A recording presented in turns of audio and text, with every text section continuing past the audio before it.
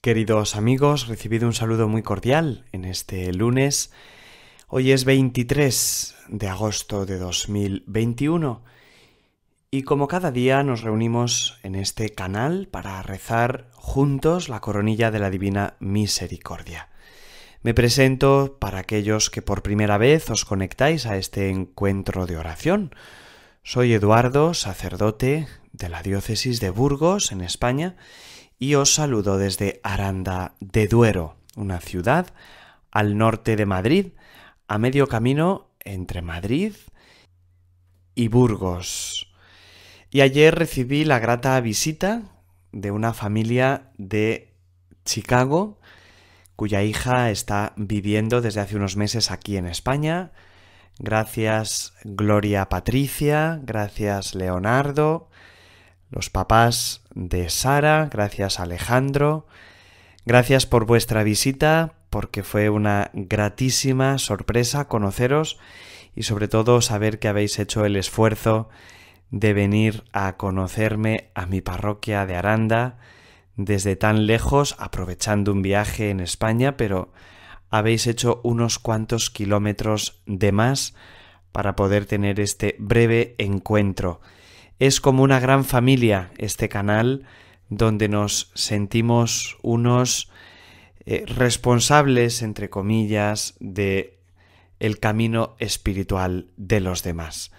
Todos nos ayudamos unos a otros con nuestra oración, con nuestro cariño, con nuestra perseverancia en la fe. Así que gracias de verdad por vuestra visita y gracias a todos por uniros cada día en oración en este canal.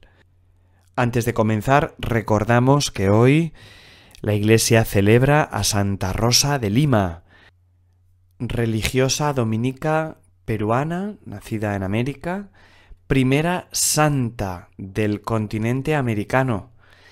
Dio signos desde muy pequeñita, ella nació en 1586, dio signos claros de una intensa vida espiritual, a los 20 años tomó el hábito de terciaria dominica y consagró su vida a los demás, a los necesitados, a los enfermos, a los niños y al Señor, a la oración. Se extendió pronto su fama de santidad, venerada ya en vida por sus visiones místicas y por los milagros que le atribuyeron. Muere con tan solo 31 años, si no me fallan las matemáticas. Jovencísima, consiguió llegar a la cumbre de la santidad. Nos encomendamos a esta gran santa y encomendamos a todos aquellos que nos escucháis de manera especial desde el continente americano y sobre todo desde Perú. Os mandamos un saludo lleno de cariño. Comenzamos, pues, este momento de oración, esta coronilla de la Divina Misericordia, invocando al Espíritu Santo, para que, como a los santos de la Iglesia que vamos conociendo a lo largo del ciclo litúrgico, también a nosotros el Espíritu Santo nos ayude a alcanzar la madurez de nuestra fe. Respira en mí, oh Espíritu Santo para que todos mis pensamientos sean santos. Actúa en mí, oh Espíritu Santo, para que mi trabajo también pueda ser santo. Atrae mi corazón, oh Espíritu Santo, para que sólo ame lo que es santo. Fortaléceme, oh Espíritu Santo, para que defienda todo lo que es santo. Guárdame, oh Espíritu Santo, para que siempre pueda ser santo. Amén. Presentemos la intención por la que queremos ofrecer este momento de oración al Padre. En el nombre del Padre y del Hijo y del Espíritu Santo. Amén. Padre nuestro que estás en el cielo, santificado sea tu nombre. Venga a nosotros tu reino hágase tu voluntad en la tierra como en el cielo. Danos hoy nuestro pan de cada día. Perdona nuestras ofensas como también nosotros perdonamos a los que nos ofenden. no nos dejes caer en la tentación, y líbranos del mal.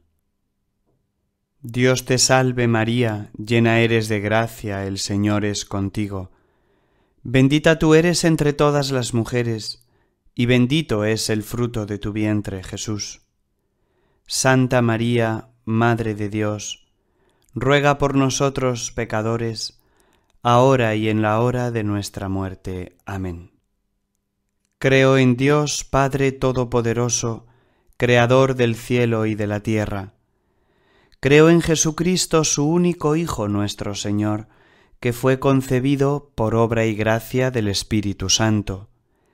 Nació de Santa María Virgen. Padeció bajo el poder de Poncio Pilato. Fue crucificado, muerto y sepultado. Descendió a los infiernos al tercer día resucitó de entre los muertos. Subió a los cielos y está sentado a la derecha de Dios, Padre Todopoderoso. Desde allí ha de venir a juzgar a vivos y muertos. Creo en el Espíritu Santo, la Santa Iglesia Católica, la comunión de los santos, el perdón de los pecados, la resurrección de la carne y la vida eterna. Amén.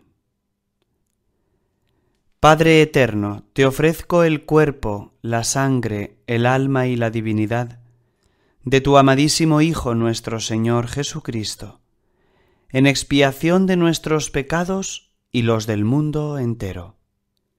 Por su dolorosa pasión, ten misericordia de nosotros y del mundo entero.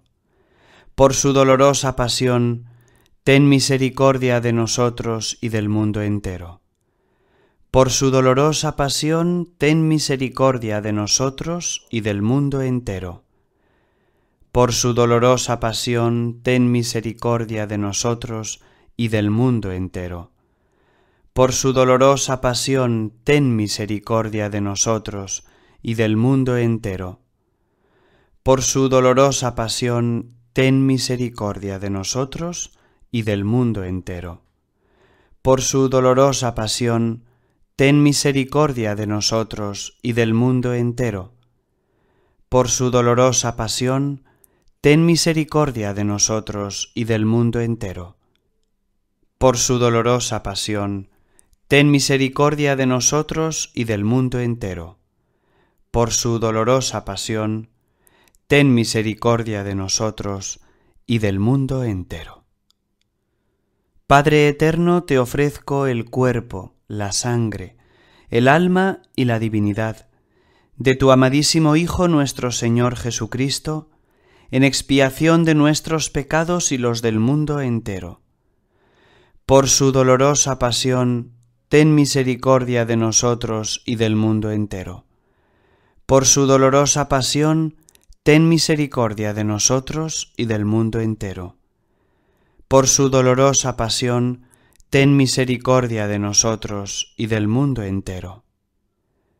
Por su dolorosa pasión, ten misericordia de nosotros y del mundo entero. Por su dolorosa pasión, ten misericordia de nosotros y del mundo entero. Por su dolorosa pasión, ten misericordia de nosotros y del mundo entero. Por su dolorosa pasión, ten misericordia de nosotros y del mundo entero. Por su dolorosa pasión, ten misericordia de nosotros y del mundo entero. Por su dolorosa pasión, ten misericordia de nosotros y del mundo entero. Por su dolorosa pasión, ten misericordia de nosotros y del mundo entero.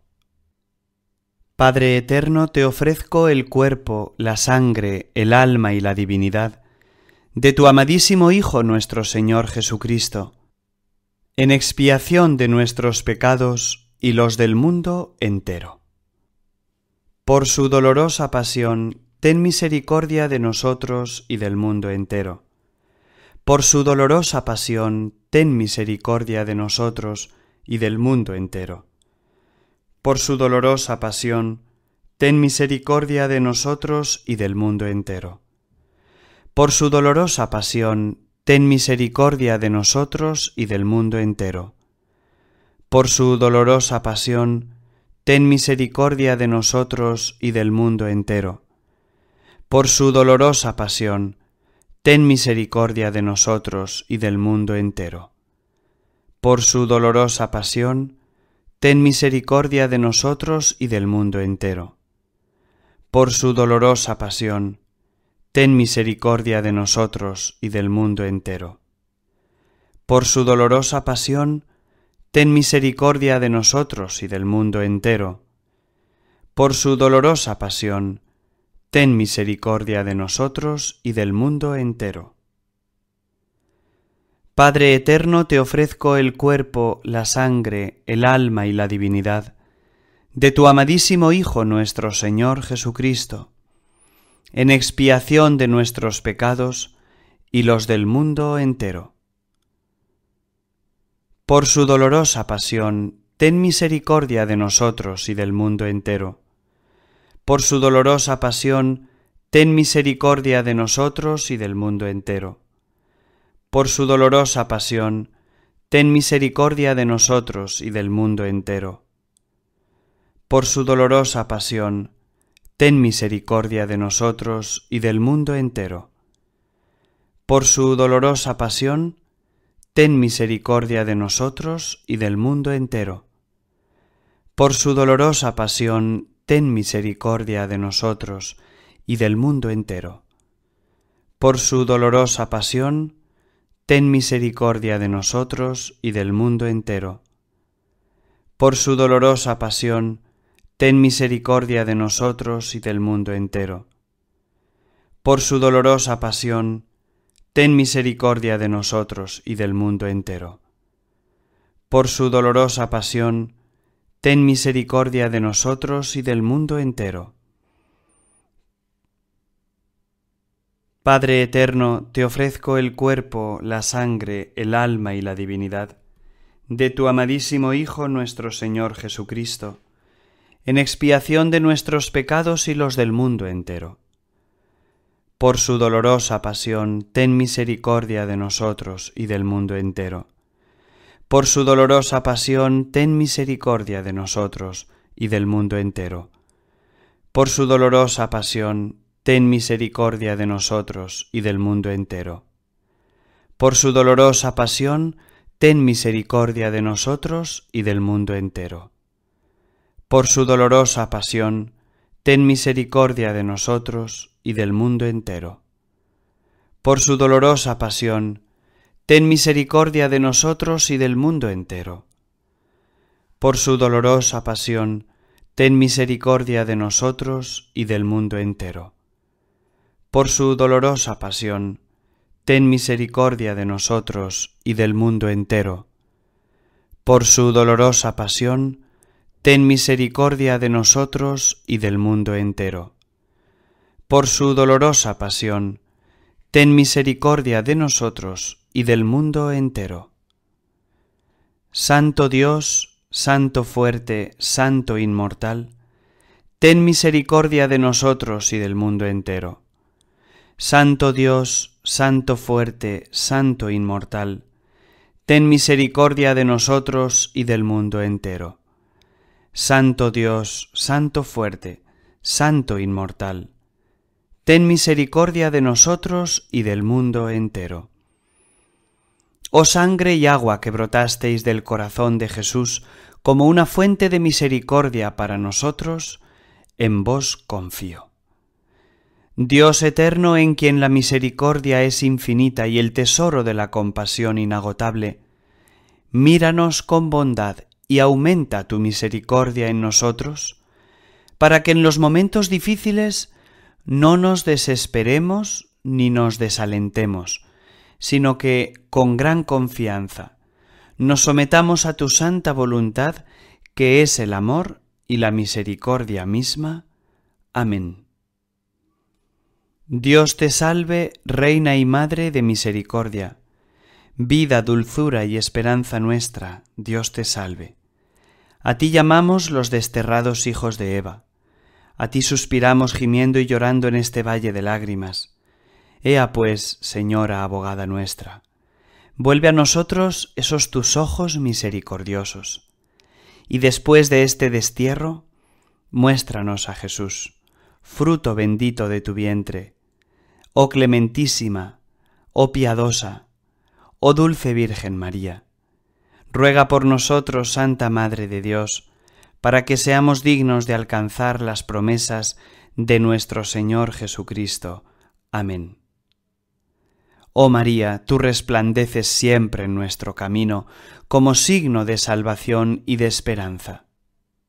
Confiamos en ti, salud de los enfermos, que junto a la cruz te asociaste al dolor de Jesús, manteniendo firme tu fe. Tú, salvación del pueblo romano, sabes lo que necesitamos y estamos seguros de que proveerás para que, como en Caná de Galilea, pueda volver la alegría y la fiesta después de este momento de prueba. Ayúdanos, Madre del Divino Amor, a conformarnos a la voluntad del Padre y a hacer lo que nos diga Jesús, que ha tomado sobre sí nuestros sufrimientos y se ha cargado con nuestros dolores para llevarnos a través de la cruz a la alegría de la resurrección. Amén. Bajo tu protección nos acogemos, Santa Madre de Dios. No deseches las oraciones que te dirigimos en nuestras necesidades. Antes bien, líbranos de todo peligro, oh Virgen gloriosa y bendita. Amén. Escuchemos ahora el Evangelio que para este día de Santa Rosa de Lima la liturgia nos ofrece del Evangelio según San Mateo capítulo 23, del 13 al 22.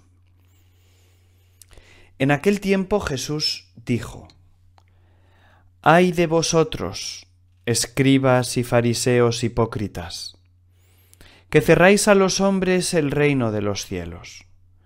Ni entráis vosotros, ni dejáis entrar a los que quieren.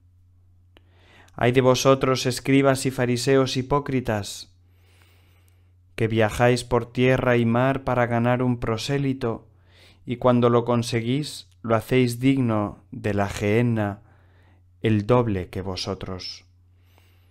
Ay de vosotros, guías ciegos, que decís jurar por el templo no obliga, jurar por el oro del templo sí obliga, necios y ciegos. ¿Qué es más, el oro o el templo que consagra el oro? O también jurar por el altar no obliga, jurar por la ofrenda que está en el altar sí obliga, ciegos. ¿Qué es más, la ofrenda o el altar que consagra la ofrenda? Quien jura por el altar, jura por él, y por cuanto hay sobre él. Quien jura por el templo, jura por él, y por quien habita en él. Y quien jura por el cielo, jura por el trono de Dios y también por el que está sentado en él. Cristo, queridos hermanos, no cesa de llamarnos a la conversión, al cambio de vida. Lo hace a veces con palabras suaves, lo hace a veces como la madre que cura a su hijo pequeño, que lo consuela, en una noche de pesadillas, lo acaricia, le dice estate tranquilo, que estoy yo aquí. Y el Señor a veces también tiene que actuar con fuerza, con fuerza ante el hijo adolescente que no quiere entrar en casa a la hora marcada, o con fuerza contra el hijo que reniega de su filiación y necesita un pequeño susto de amor siempre, pero un susto para despertar. Sea como sea, el Evangelio y las palabras de Cristo en el Evangelio nacen siempre de un corazón que ama. Nacen siempre de un verdadero deseo por parte del Señor de que volvamos a Él de todo corazón. Nos dice el Padre Pío de Pietrelchina, San Pío, frente a las tentaciones, compórtate como una mujer fuerte y combate con la ayuda del Señor. Si caes en el pecado no te quedes allí, desanimada y decaída. Humíllate, es decir, pide perdón, pero sin perder coraje. Rebájate, pero sin denigrarte. Derrama lágrimas de arrepentimiento sincero para lavar tus imperfecciones y tus faltas, pero no pierdas la confianza en la misericordia de Dios, que será siempre más grande que tu ingratitud. Toma la resolución de corregirte, pero sin presumir de ti, pues solamente en Dios debes poner tu fuerza. Finalmente, nos dice el Padre Pío, reconoce sinceramente que si Dios no fuera tu armadura y tu escudo, tu imprudencia te habría llevado a cometer todo tipo de pecados. No te sorprendas por tus debilidades, más bien acéptate tal y como eres. Avergüénzate de tus infidelidades hacia Dios, pero ten confianza en Él y abandónate tranquilamente en Él como un niñito en brazos de su madre. Estas palabras duras del Evangelio hacia los fariseos son así de duras, no porque Cristo tenga acepción de personas y utilice misericordia más con unos que con otros. Son así de duras porque el cascarón de soberbia espiritual que se han construido es tan duro que sólo con este tipo de enfrentamiento podrá tal vez el Señor romperlo para entrar en el corazón de ellos. Jesús se da cuenta de que la dureza de corazón de los escribas y fariseos y su hipocresía, su doblez, su decir una cosa y hacer otra, su exigir a los demás una cosa y ellos mismos vivir otra, esto no sólo era motivo de perdición para ellos mismos, sino que por el mismo hecho de ser fariseos y escribas, es decir, los guías del pueblo judío en el culto a Dios, se convertían también en causa de condenación para otros, porque deformando las conciencias de otros, les impedían vivir con alegría de cara a Dios. Por eso Cristo arremete contra los fariseos, movido por el deseo de su conversión y de que convirtiéndose puedan también allanar el camino de la vida eterna para aquellos a quienes guían. Ay de vosotros es la expresión que más se repite en este párrafo que hemos leído. Ay de vosotros, escribas y fariseos hipócritas. Este ay en hebreo es algo así como guay. En italiano también se traduce prácticamente igual, guay. Es un grito fúnebre. No es la amenaza del profesor malvado que les dice a sus alumnos ¡Ay de vosotros! vais a suspender. ¿Cómo me alegro? ¿Cómo me estoy frotando las manos? Bueno, ese profesor no existe en realidad. Me lo acabo de inventar. No es el ay amenazante, es el ay de que me duele, de que lloro por vosotros, de que me da pena de vosotros ay de vosotros, pobrecitos de vosotros, que cerráis a los hombres el reino de los cielos. Al Señor le duele que el camino que Él ha venido a abrir, que es el camino del amor al Padre, pueda estar siendo cerrado por aquellos que predican un camino moral humano al margen del amor. Ay de vosotros, cerráis el verdadero camino al Padre. Preguntémonos, hermanos que me escucháis, todos vosotros creyentes, cristianos, a ver si el Señor no tiene que venir a nosotros y decirnos, ay de vosotros que cerráis el camino de los que quieren entrar. Ay de vosotros que con vuestras batallitas internas de parroquia, de iglesia, de grupito, de movimiento, de asociación, de cofradía, puede ser que estéis enredando de más y en lugar de dedicaros a atraer a otros al Evangelio, os estáis peleando por si la bandera o el estandarte de la cofradía va a ser azul o verde. Y eso es lo que más os preocupa de vuestra vida. Y mientras tanto, ni entráis ni dejáis que otros entren. Es duro lo que estoy diciendo, pero nos lo aplicamos también nosotros los sacerdotes. Es más, si alguien se lo tiene que aplicar, si alguien tiene que hacerse este examen de conciencia, somos precisamente los sacerdotes. Estamos abriendo las puertas del corazón de Dios a tantas, a tantas personas sedientas y hambrientas de este amor? Ay de vosotros, sigue Jesús,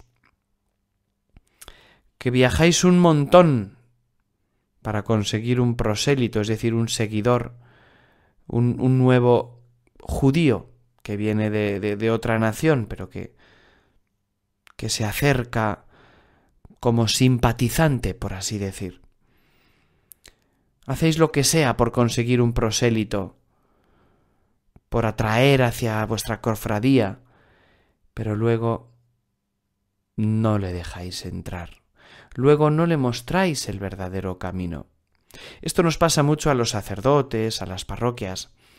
Cuando dedicamos muchas energías para convocar un retiro y muy poquitas para pensar qué les vamos a decir a los que vengan al retiro.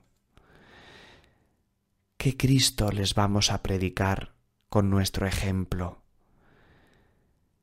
¿Qué testimonio vamos a dar a los que se acerquen por primera vez a nuestra parroquia ese día?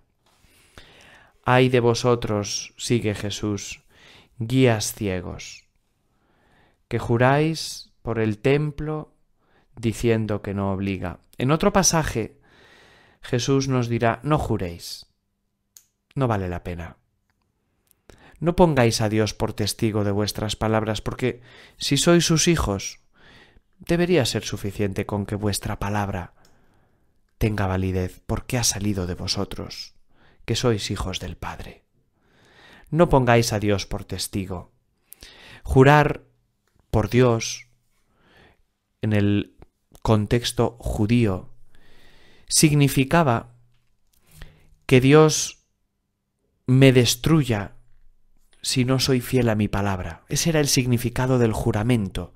Era poner a Dios por testigo, con la condición de que si yo no era fiel, Dios me destruía.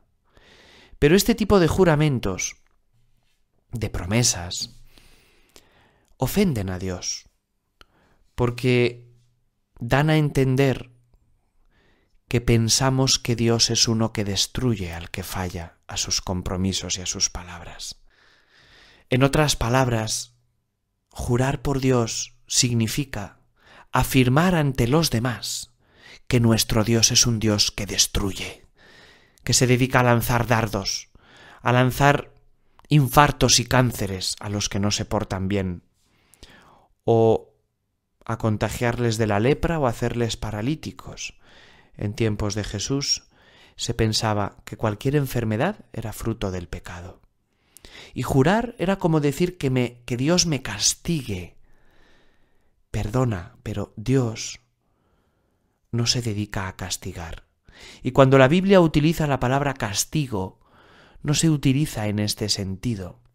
Se utiliza en el sentido de corrección de un padre que ama a su hijo, no de un tirano que se venga de aquel que no es que no cumpla la ley establecida en su reino o en su estado, en su territorio. Bien, hasta aquí nuestra reflexión de hoy, en la que sacamos varias cosas para nuestra reflexión y oración personal. Ante todo, las correcciones del Señor nacen siempre del amor. Ante los corazones endurecidos, Dios tiene que levantar la voz. Ojalá no nos la tenga que levantar a nosotros, porque nos pensemos que somos mejores que los demás. Y finalmente el Señor nos anima a todos a reconocer en Él un Dios misericordioso, un Dios de verdad, un Dios que pide que le rindamos culto con la verdad de nuestras vidas, con la verdad de nuestro amor, según su plan salvador.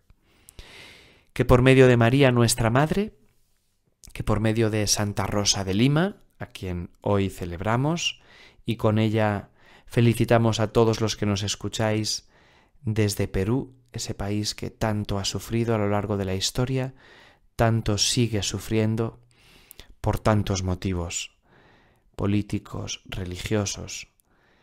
Nos unimos a todos vosotros y por medio de su intercesión pedimos al Señor que nos bendiga a todos y que la bendición de Dios Todopoderoso, Padre, Hijo y Espíritu Santo, descienda sobre vosotros y os acompañe siempre. Hasta mañana, queridos hermanos, que paséis un feliz día y que el Señor os acompañe y os bendiga.